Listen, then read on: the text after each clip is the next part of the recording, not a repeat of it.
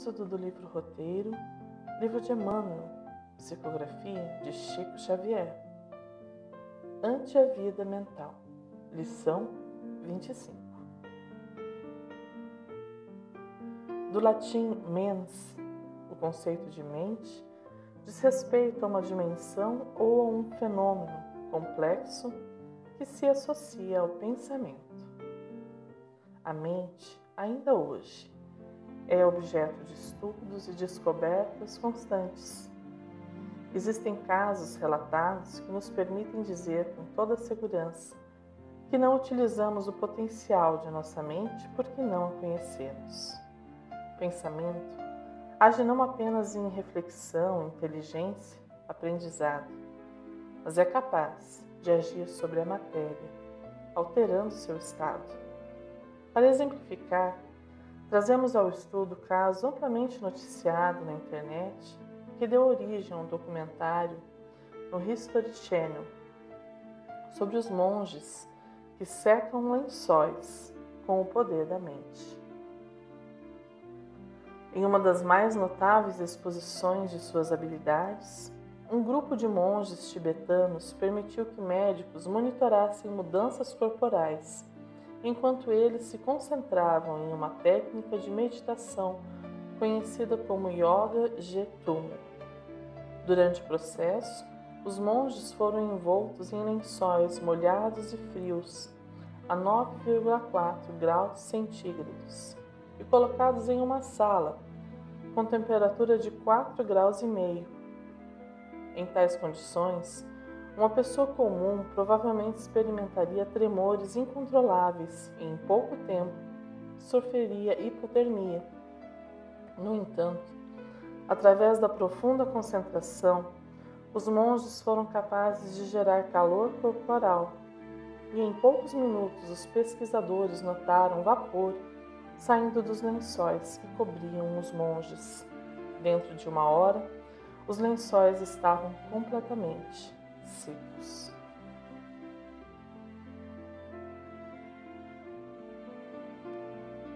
Como estamos tratando esta questão? Que cabe em nosso corrido dia a dia para que nos conheçamos melhor e usemos a nossa mente cada vez mais. Recordemos de Jung: quem olha para fora sonha, quem olha para dentro desperta.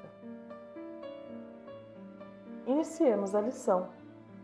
Quando a criatura passa a interrogar o porquê do destino e da dor e encontra a luz dos princípios espiritistas a clarear-lhe os vastos corredores do santuário interno, deve consagrar-se à apreciação do pensamento, quanto lhe seja possível, a fim de iniciar-se na decifração dos segredos que, para nós todos, ainda velam o fulcro mental. Pensamos o tempo todo, dizem alguns, porém, o que o benfeitor nos está dizendo neste primeiro parágrafo é algo mais. Não se trata dos pensamentos corriqueiros e sem nenhum controle, que acontecem em todos os homens indistintamente. Trata-se do pensar consciente, da reflexão, da busca por algo interior. É algo muito comum quando adoecemos ou passamos por algo grave que nos remeta à possibilidade de morrer. O porquê do destino e da dor começa a envolver a criatura, que poderá encontrar ou não as luzes que clareiam o caminho. Temos o Espiritismo como o cristianismo redivivo a nos guiar e iluminar. Façamos uso deste conhecimento sublime para aproveitarmos esta encarnação alçando voos mais altos em nossa trajetória evolutiva. Caminhamos um pouco mais com a lição. Se as incógnitas do corpo fazem no mundo a paixão da ciência, que designa exércitos numerosos de hábeis servidores para a solução dos problemas de saúde e genética, reconforto e eugenia, além túmulo a grandeza na mente desafia-nos todos os potenciais de inteligência, o trato metódico dos assuntos que lhe dizem respeito. A cada mundo, os seus desafios e necessidades. Aqui, ante as nossas necessidades físicas e diárias, não raro, passamos a vida resolvendo questões meramente materiais. Mas e ao desencarnar? Quais serão nossas preocupações? Do que nos ocuparemos? Emmanuel nos relata que no além-túmulo compreender a mente é o grande desafio. Enquanto encarnados, nosso invólucro carnal nos protege e esconde. Poucos sabem o que estou pensando no momento. Não obstante, ao desencarnarmos, tudo muda e nosso, nosso pensar torna-se explícito, tal qual uma pessoa nua em meio à multidão. Será o nosso espírito diante do universo. Para que isso deixe de ser tão assustador quanto parece e é, precisamos nos preparar, precisamos saber quem somos, reconhecer nossos pensamentos e aprender um pouco mais sobre a nossa mente. Pouco sabemos, é fato.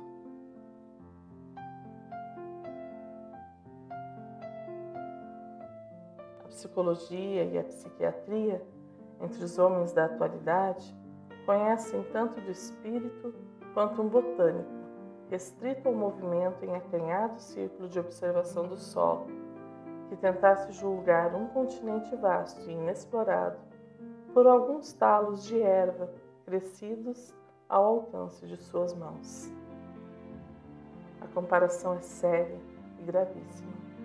Um talo de erva e um continente, o que sabemos da mente e o que ela efetivamente é. É bom que tenhamos este parâmetro. Ele nos chama para perto da virtude mais necessária a quem deseja aprender: a humildade. André Luiz, no livro Mecanismos da Mediunidade, também reflete sobre a questão quando fala sobre o pensamento das criaturas. Princípio elementar, fluindo incessantemente no campo cósmico, auscultamos de modo imperfeito as energias profundas que produzem eletricidade e magnetismo, sem conseguir enquadrá-las em exatas definições terrestres. E da matéria mental, dos seres criados, estudamos o pensamento ou fluxo energético do campo espiritual de cada um deles, a se graduarem nos mais diversos tipos de onda, desde os raios super-ultra curtos, em que se exprimem as legiões angélicas, através de processos ainda inacessíveis à nossa observação, passando pelas oscilações curtas, médias e longas, em que se exterioriza a mente humana, até as ondas fragmentárias dos animais, cuja vida psíquica, ainda em germe, somente arroja de si determinados pensamentos ou raios descontínuos. Se a mente está associada ao pensamento, que afinal é o pensamento.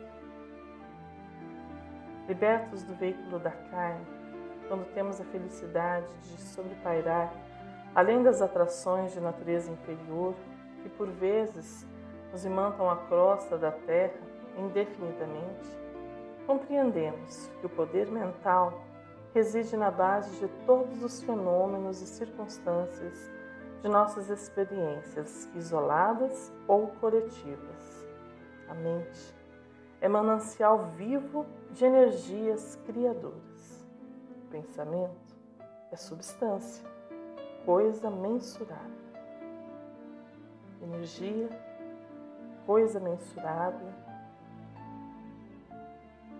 Fenômeno é um acontecimento observável, particularmente algo especial, literalmente algo que pode ser visto, derivado da palavra grega fenômeno, observável. Circunstância, particularmente que acompanha determinado fato ou acontecimento. Qualidade ou nexo ou determinante. Fato que prova determinada ação ou comportamento.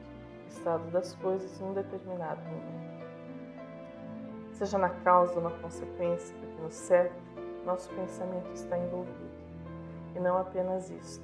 Vejamos o que o Emmanuel diz a seguir encarnados e desencarnados, povoam o planeta na condição de habitantes do imenso palácio de vários andares, em posições diversas, produzindo pensamentos múltiplos que se combinam, que se repelem ou que se neutralizam. Três verbos: combinar, repelir, neutralizar. Estes verbos nos falam de como, como nosso pensamento age. Se pensamos de forma negativa, iremos nos coadunar com as forças equivalentes, bem como repelir o que é positivo. Mas se passarmos a agir de forma consciente, iremos decidir com que tipo de pensamentos iremos combinar, que tipo de pensamentos iremos repelir e até mesmo que tipo de pensamentos iremos neutralizar.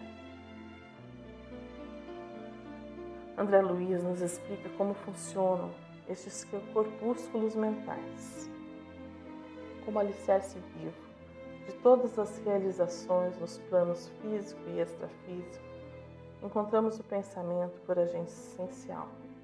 Entretanto, ele ainda é matéria.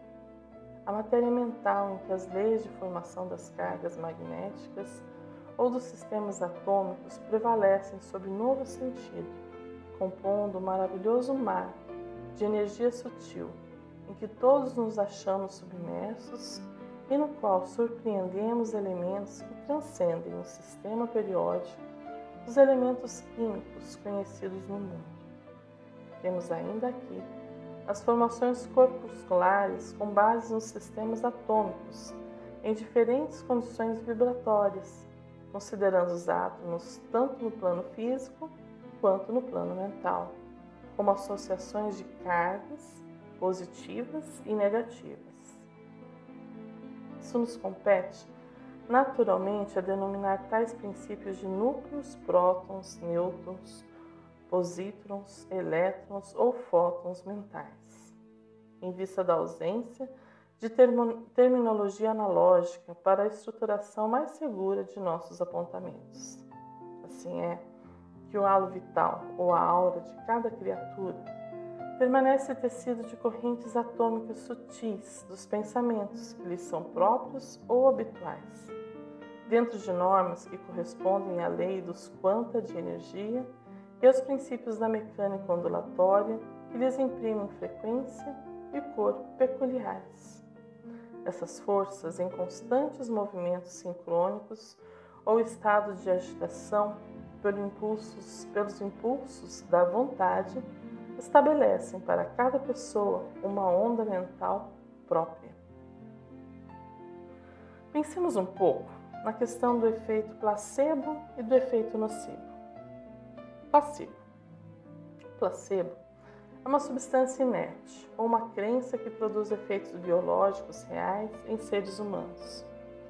É tão amplamente aceito como fato que placebos são incluídos na maioria dos testes médicos como forma de provar se, por exemplo, uma droga funciona pelos próprios méritos ou porque as pessoas simplesmente pensam que ela funciona. Há centenas de experimentos que comprovam os efeitos do placebo mas um dos mais divertidos é um teste feito por um grupo de estudantes de Princeton. Eles deram uma festa e convidaram diversos colegas que nada sabiam da experiência. Os experimentadores secretamente esvaziaram os barris da cerveja Heineken e os encheram com O2, marca de cerveja que contém cerca de 0,4% de álcool, enquanto que a cerveja normal tem em torno de 5% e em seguida presenciaram seus amigos agindo como bobos, arrastando as palavras, dormindo no chão, enfim, comportando-se como se estivessem bêbados. Embora seja quase impossível embriagar-se com o doce. Os estudantes tinham uma forte crença de que estavam bebendo cerveja com teor, alcoólico padrão, crença que afetou o comportamento deles. Curiosamente, Pesquisadores têm observado que o efeito placebo, de alguma forma, tem se tornado cada vez mais forte, e algumas drogas que estão no mercado há anos agora são consideradas menos eficazes que muitos placebos. Naturalmente, esta é uma questão sensível para o bolso das grandes empresas farmacêuticas, que estão realizando centenas de estudos neurológicos em um esforço para chegar a novas maneiras de proteger seus produtos contra simples pílulas de açúcar. Nocivo. Enquanto placebos são geralmente associados com resultados positivos, como a cura de uma doença ou ficar bêbado com o doce, se você considerar a embriaguez como algo positivo, o efeito nocebo produz resultados negativos, como vômitos em pacientes com câncer antes do início da quimioterapia, ou uma erupção cutânea em alguém que pensou ter tocado em erva venenosa, mesmo que tenha sido em uma planta comum. Um dos mais conhecidos exemplos do fenômeno nocebo foi um incidente publicado na New Scientist. De acordo com o relato, tarde da noite, um homem do Alabama, conhecido como Vance, foi a um cemitério e encontrou-se com um feiticeiro. Esse feiticeiro, na ocasião, previu a morte de Vance dentro para dentro de poucos dias. Acreditando na previsão, Vance logo caiu doente e em questão de semanas estava raquítico e perto da morte. Vance foi levado para o hospital, mas os médicos não encontraram nada de errado com ele. Finalmente, a esposa de Vance convenceu, conversou com o Dr. Dohet, médico que cuidava do caso, sobre o encontro do marido com o feiticeiro. Então o médico teve uma ideia criativa. No dia seguinte, o Dr. Dohet Disse ao casal que havia encontrado um feiticeiro que, sob ameaças físicas, o macabro sujeito confessara ter colocado um lagarto dentro de Vence e que o bicho estava devorando as, as entranhas dele. Depois de retirar o lagarto imaginário de dentro do paciente, o doutor sorrateiramente havia levado um lagarto para dentro da sala de cirurgia. Vence acordou alerta, com fome, e não demorou muito para que ele se recuperasse totalmente. Aparentemente, essa história foi corroborada por outros quatro profissionais da área médica e é frequentemente citada quando se explica os motivos dos feitiços às vezes funcionarem, ou seja, não é por causa da magia, mas sim por causa do efeito nocivo. Está em nosso querer, conforme nos explica André Luiz. A matéria mental é um instrumento sutil da vontade, atuando nas formações da matéria física, gerando as motivações de prazer ou desgosto, alegria ou dor, otimismo ou desespero, que não se reduzem efetivamente a abstrações, por representarem turbilhões de força em que a alma cria seus próprios estados de mentação indutiva, atraindo para si mesma os agentes por enquanto imponderáveis na terra, de luz ou sombra, vitória ou derrota, infortúnio ou felicidade. Sigamos em frente com a lição. Correspondem-se as ideias segundo o tipo em que se expressam, projetando raios de força que alimentam ou deprimem, sublimam ou arruinam, integram ou desintegram arrojados sutilmente do campo das causas para a região dos efeitos. A imaginação não é um país de névoa, de criações vagas e incertas.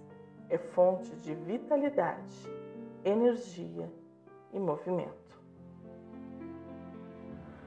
Citamos novamente André Luiz para bem compreendermos a riqueza do que Emmanuel nos está dizendo. Emitindo uma ideia, passamos a refletir as que se lhe assemelham. Ideia essa que para logo se corporifica, com intensidade correspondente à nossa insistência em sustentá-la, mantendo-nos assim espontaneamente em comunicação com todos os que nos exposem o modo de sentir. É nessa projeção de forças, a determinarem o compulsório intercâmbio com todas as mentes encarnadas, ou desencarnadas, que se nos movimenta o espírito no mundo das formas pensamentos, construções substanciais na esfera da alma, que nos liberam o passo ou nolo escravizam, na pauta do bem ou do mal de nossa escolha. Isso acontece porque a maneira do homem que constrói estradas para sua própria expansão ou que talha algemas para si mesmo, a mente de cada um pelas correntes de matéria mental que exterioriza, eleva-se gradativamente, gradativa libertação no rumo dos planos superiores ou estaciona nos planos inferiores, como quem traça vasto labirinto aos próprios pés. Como nos sentimos após ouvir uma música de caráter elevado que nos remeta à paz e à harmonia? Como nos sentimos ao contemplar a natureza e sua esplendorosa beleza? Como nos sentimos ao olhar o céu em noite estrelada? As empresas que dominam o comércio mundial investem milhões em busca de conhecer como nossa mente funciona e ela tem tido êxito em nos fazer consumir cada vez mais. Será que realmente precisamos de tantas coisas? A cultura de consumo, suportada por diligentes empresas de comunicação e meios, ainda de PNL, de entre outras, contribui para o atingir a mente dos consumidores através de programação dedicada ao subconsciente.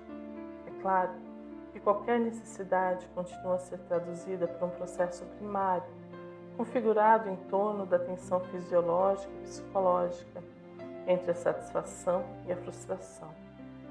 O que poderá ser questionado atualmente é a capacidade do homem fantasiar em torno deste mesmo processo. O que é que mudou? Desde logo, o entronizar da ilusão do poder pelo consumo, ou seja, o consumo transformou-se no mais importante ideal de afirmação social, econômico e status.